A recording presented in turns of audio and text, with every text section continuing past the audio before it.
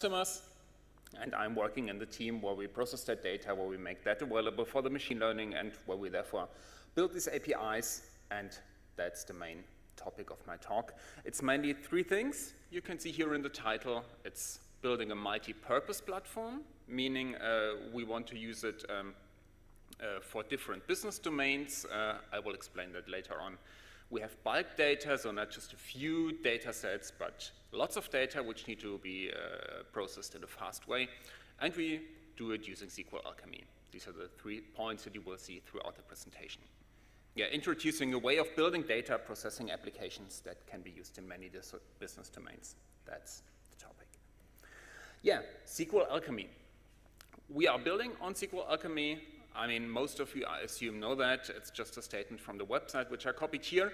And I have to say, what I really like about SQL Alchemy is that it gives you so much flexibility in how to build your application. You really have uh, uh both ends of the spectrum doing it much database oriented for uh, high performance, and you can you also have the ORM where you can program in a much more abstract way. And within our application, uh, we use uh, uh, both of these flavors depending on in what area we are and what we do exactly in the API processing part I will show here. So let's build a multi-domain platform. what do we have to do? What do our customers expect from us? Well, we have to load the bulk data via a CSV file. This is what I will show in my example or in real life, we also use XML files. We get that into the system via, uh, via HTTP interface, via POST requests. We have to verify that data. We have had several uh, talks already uh, regarding clean da uh, big data, which is not always clean, which can be quite messy. And uh, so that our machine learning can work on that, we need to have uh, clean data that has validated references and that's one important part of our application, what we do. Yeah, and we use it for different business domains. So what we currently uh, do in our company is for uh, retail, uh, for tourism, and for other areas. But, yeah, what I will show in the demo, I will explain on the next slide then.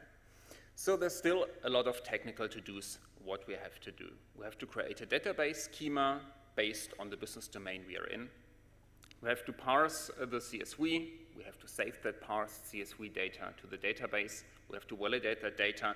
Validations, there can be multiple things. We have to check that the required fields are filled. We have to check that the data is correct and that in a date field there is no time, for example, or, or uh, no other descriptions like today or tomorrow. And we have to check that the references between the data records are correct. We want to give the feedback. We want to give feedback to the customer about the processing, status of, uh, of his data, whether it was accepted, uh, whether we were able to process it, what is done with it.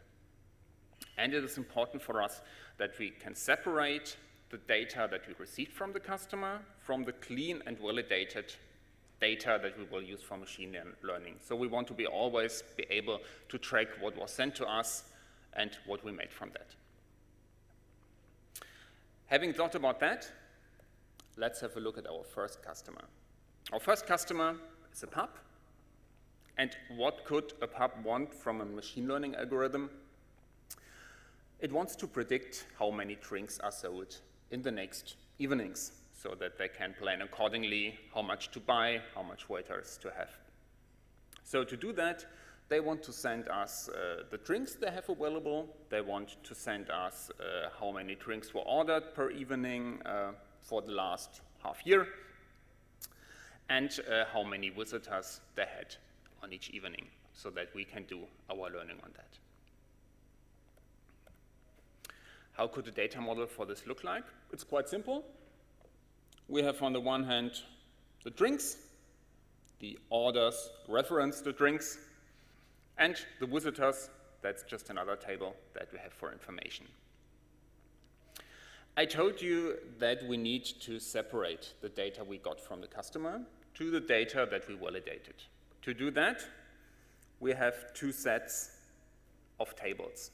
On the one hand, these are the stage tables. These are the data we got from the customer, just as we get it from the customer. So maybe he sends several updates, then we have several lines in them. Maybe there are some duplicates because he sent the same file twice, then we have several lines in there. And maybe there are some errors in. Then we also have them all in that stage. What you want to get out of that process is the core, and in the core, we also have the drinks, the orders, and the visitors, but there we have one unique ID for each data record. And when we have updates to the data, we will update that data record and not uh, saving it several times. So the machine learning algorithms can use that and can be confident that they will get sensible data. How could such a CSV delivery look like? Well, let's take a simple pub. We have some beer. We have some additional information here, alcoholic content. We have whiskey. Let's see, maybe the pubs in Scotland. We serve Scottish whiskey without an E. And we have some Coke for the people not wanting some beer or whiskey. And we have these orders. On that day, we sold 10 beer and 8 Coke. On the 11th of July, 15 beer and 2 whiskey. And on 12th of July, we sold 13 beer and one. Yeah, well, we got a new waiter from Ireland. There, they write that whiskey with an E, but that would be bad for us as we only know the Scottish whiskey. But things can happen. We get that at the delivery. Now, what do we want to do with that? Ideally, what our code should be able to do, it should find references between objects. So we have that stage table here. These are the orders we get. And you can see that's the external code you saw, that's the drinks you saw, that's the count you saw on the orders table. And then there's this new column, the drinks reference. This is nothing the customer sent to us. This is the reference to the unique IDs of the drinks we want to find. They are available here in the core. You can see that core table. You see here we have a unique ID, and we want to write that in there. There's one implementation detail I missed at the last slide. Here, we don't have a foreign key relationship between this column and this column. Here can be anything in, so at the moment it's empty. But in the core, we defined uh, um, a foreign key relationship between that table and that table, so that also the database ensures that really there's sensible data in here. So whenever we want to copy that data to that table, we really need to make sure that we find the correct references first. This we do in two steps. We have the reference finding step, which writes them in here, and then when they are in, it writes the validated data to the core and copies. And then you can see it omits just this information, but keeps the reference information with the foreign key to the drinks table. And you also see the last line is omitted. This whiskey he could not process, he did not copy it in there. We have to decide in our application whether we throw an exception then, whether to write some log file to give information to the customer in some way, but at least it should not come into the core. So our task as developers is how can we write the code that does these steps? How do we do that?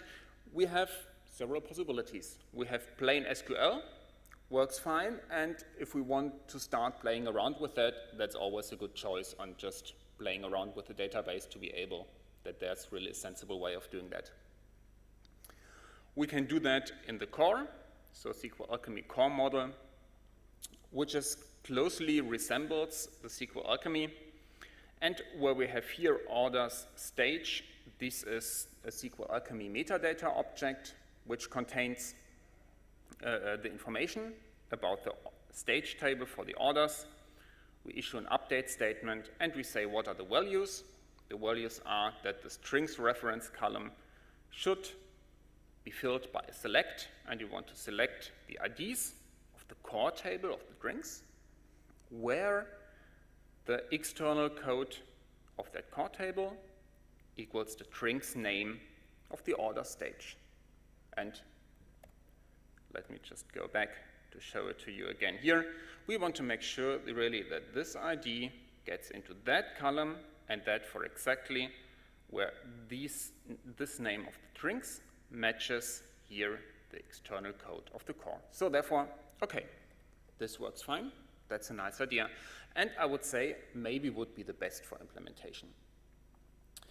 We have slightly in, our, in the back of our head that we might get different customers with different models, and we are thinking about, well, maybe it would be a good idea to look in the ORM so that we are more flexible there. We have here uh, the, the tables as objects, and we have each row as an object, and it's much nicer to implement the stuff here. We can loop over the orders.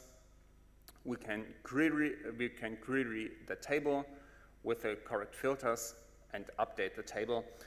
It works fine also, but as we do here the single database access, that might be not a good idea from a performance point of view when we really have big customers. But these are the things, the tools we have at hand at the moment.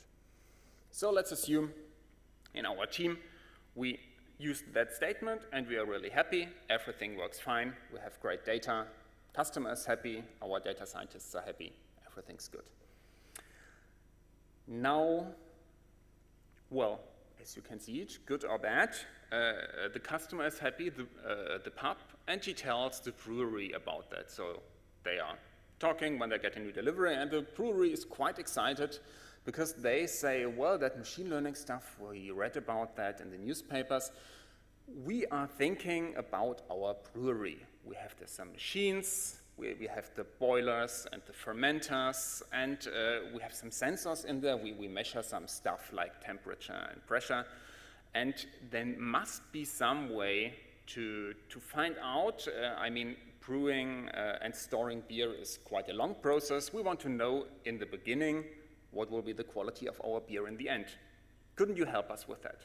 And our data scientists are quite happy with that. Interesting new task. And we just need to get the data into the system. This can't be that complicated. Well, looking at that statement here, mm, it might be we have to rewrite all that because there are different references between the, uh, between the categories. We now have machines, we now have sensors, we now have measurements, all are named differently. And to make that customer happy, we would have to rewrite that complete statement. So it would work, but when we look into the future and maybe there are more interested, more interest, uh, more interesting business domains, then we might have really lots of work to do. So what could be the solution? We thought in our team, and we said, well, we could describe these things in a more abstract way. We can say we have one business domain, which is the pub at first, and the pub consists of categories. We have the drinks, we have the orders, and we have the visitors. They consist of the elements. Well, that's the external code. That's the reference to the drinks. They have some types we need for the database. And what is some of these elements are special we looked at that reference finding task, and we have seen they need special processing. And it would be good if we just could uh, have a way to determine uh, that these are special elements that we can uh, inherit here from that element. And we also have, I mean, each element has a name, which we see in the CSV file, and it has a name on the database, which is, well, in most cases, the, CS, uh, the name in capital letters. But for this order strings reference you had seen, there's an additional field. There's this name reference. You remember in our reference finding step, we wanted to fill that column in the stage table. So we add this here in our subclass, and we say that this belongs to the category. So what does that help us if we can do that? I mean, we also thought that somehow resembles a SQL alchemy model also. I mean, a SQL alchemy model also has some tables, it has some elements, it has some types. It has foreign keys. But the SQL Alchemy model is for a database description. It's not so much for an algorithmic processing of that stuff. So therefore, I will discuss that at the end. We said it really makes sense to have this in a more abstract way. How now does that look like? I mean, SQL Alchemy also has parsers. Here in ORM, for example, we have that generic ORM parser, and we have here in the SQL Alchemy model, we have our business domain, and we have the business domain that is also described in the application. So in both here, we need to have that business domain. What we wanted to do, we wanted to factor out some knowledge of that. So that this application does not need to know the business domain, that we really can set this here in that domain model, and that we can have specific task renderers. So for reference finding, we have here one renderer which uses that information to generate SQL statements. And we can have one for other tasks also. How does it look like? I will give you here a code sample for that pub. So we have here the domain, the category, the elements from our Lingo package. We have that pub, which is a domain. And that pub consists of three categories, the drinks, the visitors, and the orders. That's quite easy to write down. I mean, there, there's nothing more than you need, and it's easily understandable. The interesting stuff is here that reference, which you see links directly to the drinks. Having that, how does that task-specific renderer look like? So this is Python code which at first checks for each category what are the references in there, and we can just check that within its instance. And we loop over the references. We have here just one, but there might be other categories where we have multiple ones. We're getting the stage and core tables from the SQL Alchemy metadata. As you can see here, we can find that by the name of the stage table. We can find the referenced core table, and we issue an update statement. So this update statement here, you see update the stage with what values? These values are constructed dynamically. So because we cannot give here the keyword arguments dynamically, we construct the dict at first. And this is here the update dict with the keyword values. And you see here, that's the column which should be updated. And this is the SQL Alchemy core statement on how to update that with what name. So we print that, I will show in the demo, and then we can execute that. So now let's switch to that we can see that this really works. What I prepared in the demo is a simple SQLite database, and I have prepared some script. Oh, uh, it's quite. Uh, let me do it that way. Okay, great. So at the moment, we do not have the SQLite database. You see here, these tables do not exist at all. And what we want to do, we want to create them. We do that by calling our Python script create database. And these tables are there. You can see here, by the way, we have a configuration file where we see what's the database and what is our business domain. So now we need to get data in there. So we call that Python script. We do the CSV import. We do that at first for the drinks category. And you see here, that's the SQL statement created from that, and it's here in the category. So now we do that for the orders also.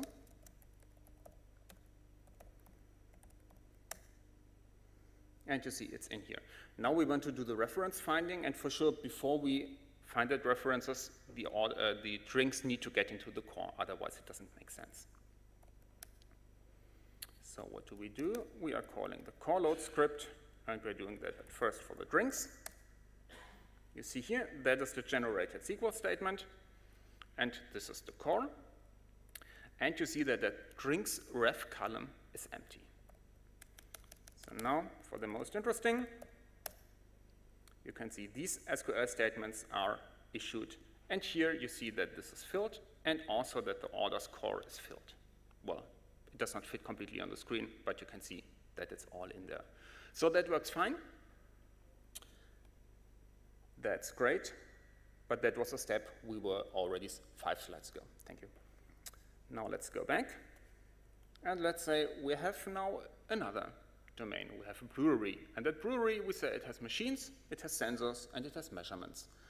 And that brewery here, you can see it the sensors reference the machines, and the measurements reference the sensors.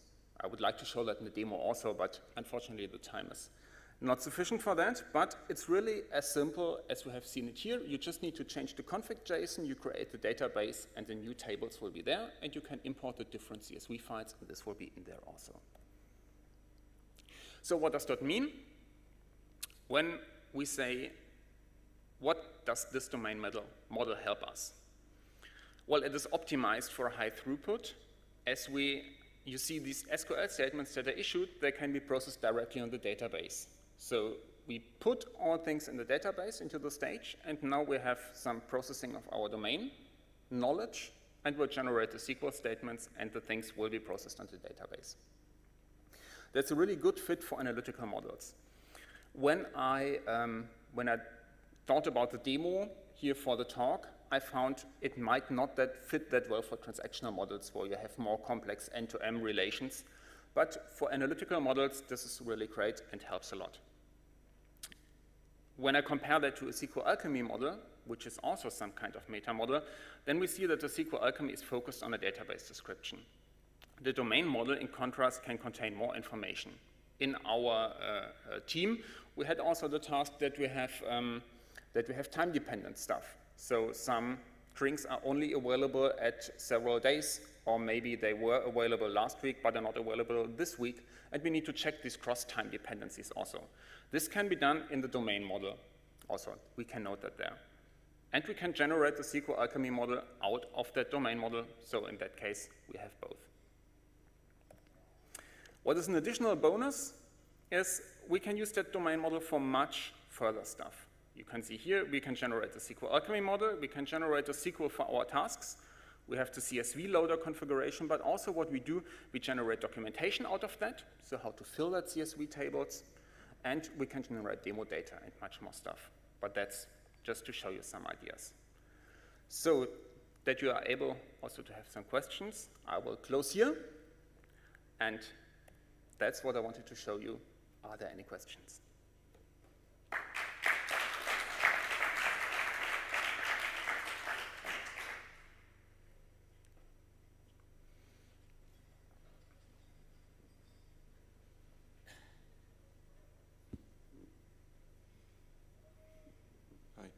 Um, is the Lingo library open source and available? No, this is something we developed internally. I, I mean, what I did here for that talk, I prepared a small demo application, and I also thought about uh, providing that. But I've seen it, uh, it takes uh, uh much uh, stuff around to make that example somehow sensible. And um, yeah, before making that open source, we, I would have to check also internally in our company. And bef before going into that direction, I just wanted to see whether there's interest at all in that. So if you have some questions to that or want to get some further updates, we can just talk after the talk. Any more questions? No? All right. Thank you, Christian.